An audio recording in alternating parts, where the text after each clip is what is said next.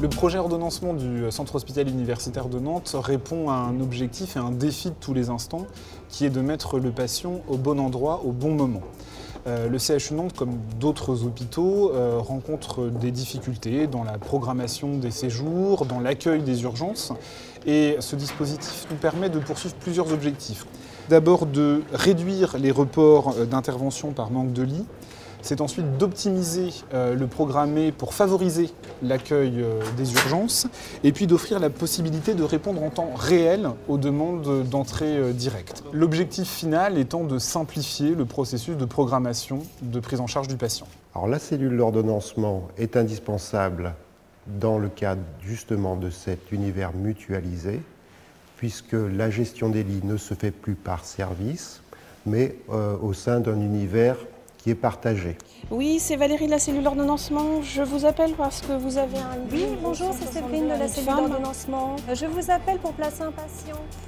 Vous êtes euh, au cœur euh, de la cellule d'ordonnancement qui gère aujourd'hui un ensemble de lits chirurgicaux pour organiser au mieux et articuler au mieux à la fois les patients qui sont attendus pour des chirurgies programmées et à la fois les patients qui arrivent de façon imprévue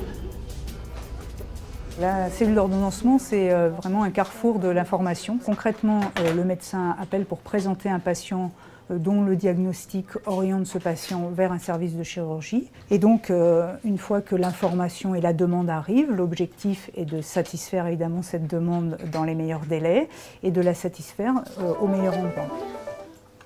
Cellule d'ordonnancement, bonjour. Bonjour, docteur Vigneault aux urgences traumato. J'appelle pour une place d'homme pour un col, donc il va être hospitalisé, il ne sera pas opéré euh, aujourd'hui. Euh, monsieur un monsieur de 78 ans. D'accord, très bien, je vous rappelle. Ah, au revoir. Ils vont nous rappeler là dès qu'ils ont fait le, point là sur les lits, hein, et puis euh, je vous tiens au courant. D'accord Allez, au revoir, monsieur. En ce qui concerne les patients, je trouve qu'il y a un vrai changement. Sur l'attente des lits, il y a effectivement une réduction des temps d'attente, euh, mais euh, c'est aussi la sécurisation de son parcours, c'est-à-dire euh, le fait qu'on aura bien fait les bons examens, les bonnes consultations périphériques autour de l'acte pour lequel il a consulté ou pour lequel il est hospitalisé.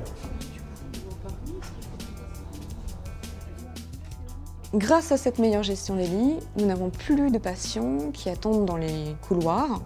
Chaque patient a une chambre, c'est beaucoup plus efficace. Sur le temps médical et sur le temps de cadre de santé, on récupère beaucoup de temps qui était perdu dans des gestions parfois un petit peu difficiles, voire euh, conflictuelles. Et ce temps-là, il est réinvesti pour les médecins dans la prise en charge des patients et pour l'encadrement dans d'autres tâches qui ont peut-être plus de valeur pour euh, le fonctionnement. C'est un réel gain de temps pour le cadre de santé, puisque je ne gère pas du tout euh, l'entrée des patients, donc la gestion des lits, que ce soit pour les patients programmés ou les patients d'urgence. L'ordonnancement, souvent on le fait dans l'urgence et parfois dans la conflictualité, quand par exemple on est sur des périodes de tension euh, sur les lits. Donc si on travaille en amont, euh, quand on a ces contre-coups-là, on les encaisse beaucoup mieux et on fait ce qu'on a à faire dans un climat plus serein. C'est parfois compliqué pour mettre en œuvre euh, ce projet, euh, mais euh, cela permet de réduire la durée moyenne de séjour, cela permet de réduire aussi les séjours dits inadéquats, et cela permet également de fluidifier la charge de travail aussi bien pour le personnel soignant que pour le personnel médical. pour toutes ces raisons, je conseille vivement aux établissements de se lancer dans un dispositif d'ordonnancement.